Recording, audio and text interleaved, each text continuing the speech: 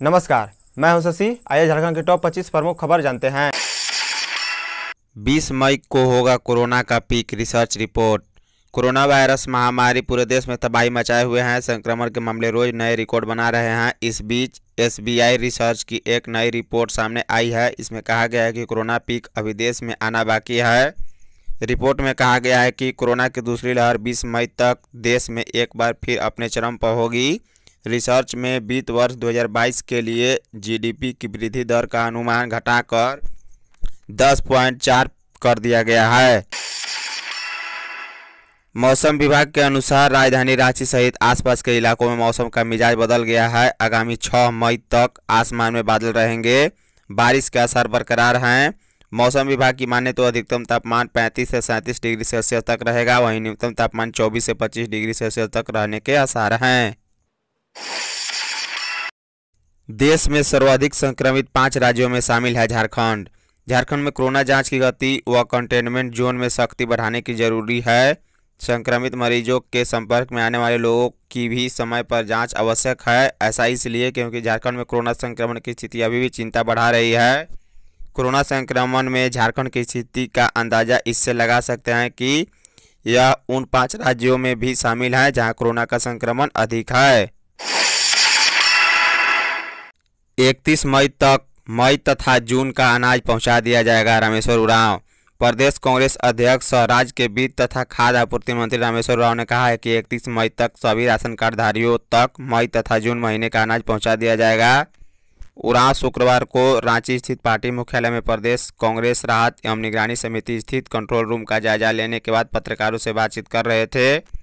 बता दें, मौके पर कृषि मंत्री बादल पत्रलेख कंट्रोल रूम के संयोजक प्रदीप उपस्थित थे। रेमडेसिविर कालाबाजारी मामले की जाँच सीआईडी ने की शुरू। कोरोना के रेमडेसिविर इंजेक्शन के कालाबाजारी मामले की जाँच अपराध अनुसंधान विभाग सीआईडी ने शुरू कर दी है। इस मामले में कोतवाली थाना में केस दर्ज की गई थी। अब इस केस की जाँच सीआईडी करेगी। सीआईडी एडीजी अनिल पाल्टा के आदेश पर सीआईडी ने केस को टेकओवर किया है। तीन से शुरू होगी सरकारी स्कूलों के बच्चों की ऑनलाइन पढ़ाई।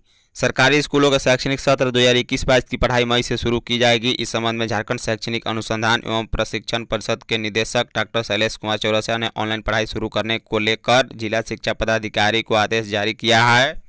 जारी आदेश में कहा है कि शैक्षणिक सत्र दो हज़ार इक्कीस बाईस में डी जी सात टू पॉइंट ज़ीरो के तहत विद्यार्थियों के सर्वांगीण विकास के लिए निर्धारित पाठ्य चर्चा के अनुरूप जैसी तीन मई से व्हाट्सएप समूहों एवं डिजिटल ऐप के माध्यम से डिजिटल शैक्षणिक सामग्री उपलब्ध कराई जाएगी। कृत्रिम ऑक्सीजन की आपूर्ति के लिए 30 H N F C machine राज्य सरकार को उपलब्ध।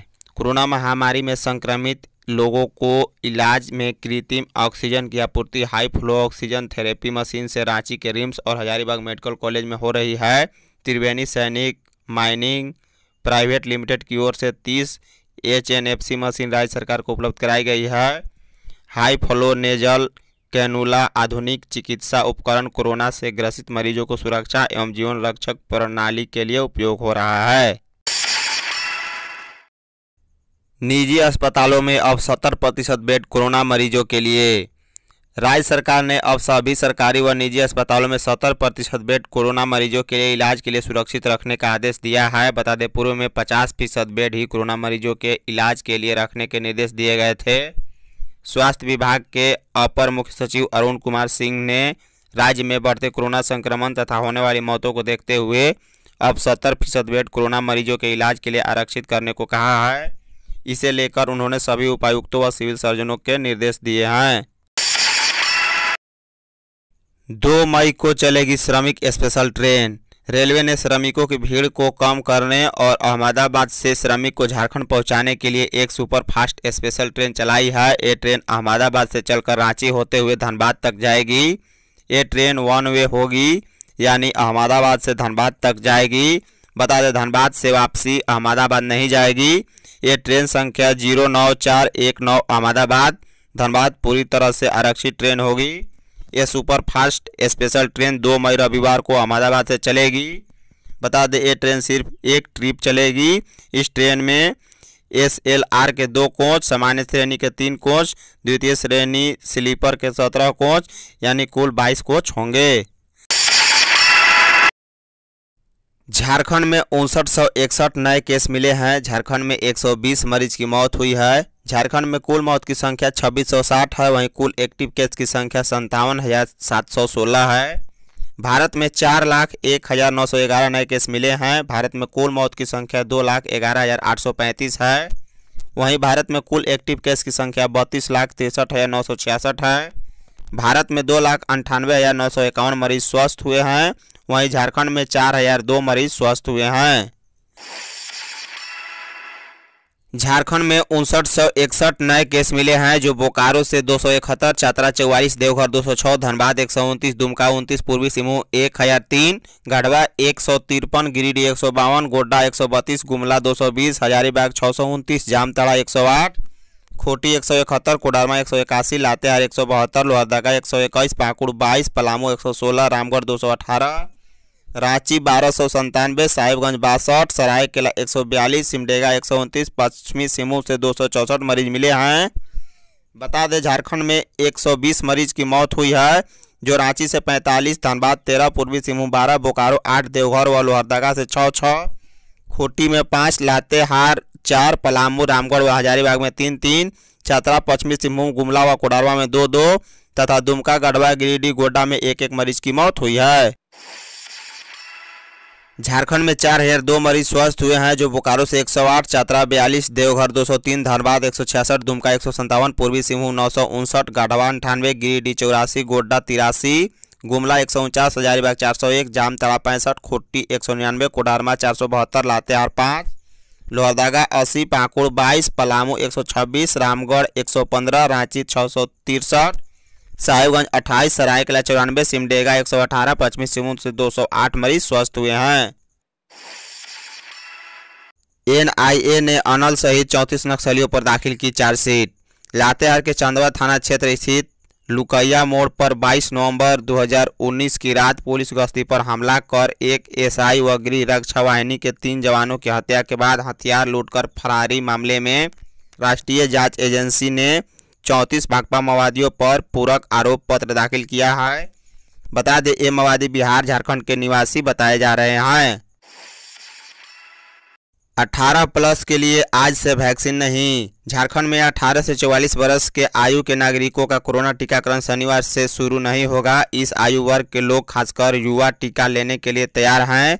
बड़ी संख्या में युवाओं ने टीका लेने के लिए रजिस्ट्रेशन भी कराया है।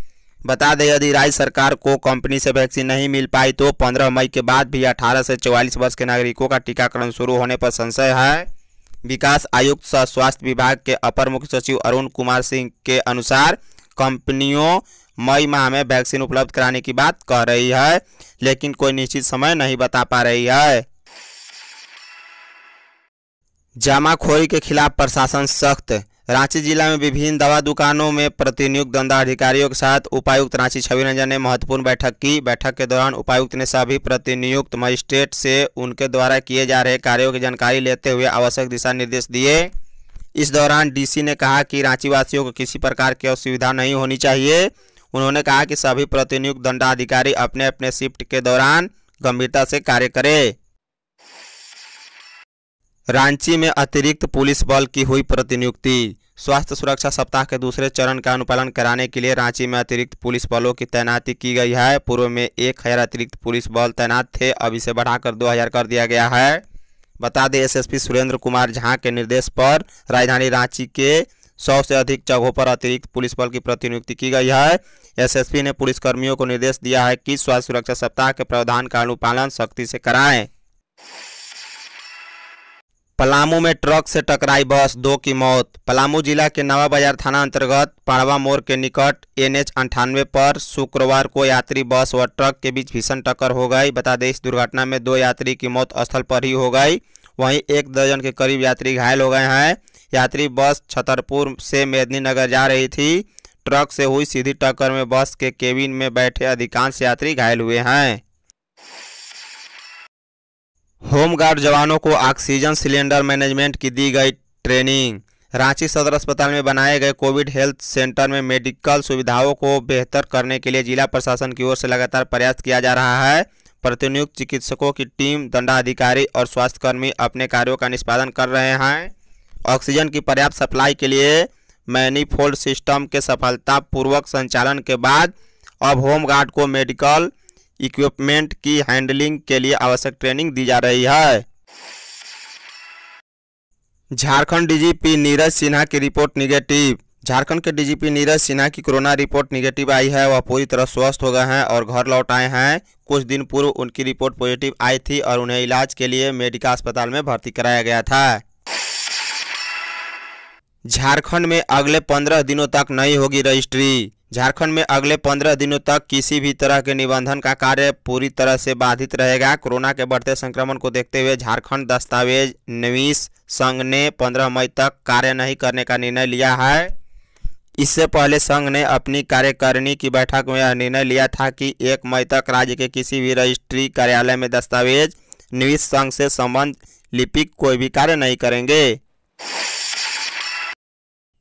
भाजपा के प्रदेश अध्यक्ष सह सांसद दीपक प्रकाश ने हेमंत सरकार के कार्यकलापों को कटघरे में खड़ा करते हुए जोरदार हमला बोला है। उन्होंने हेमंत सरकार के कार्यशैली पर सवाल खड़े करते हुए शुक्रवार को कहा कि यह सरकार इस आपदा में पूर्णतः फेल साबित हुई है।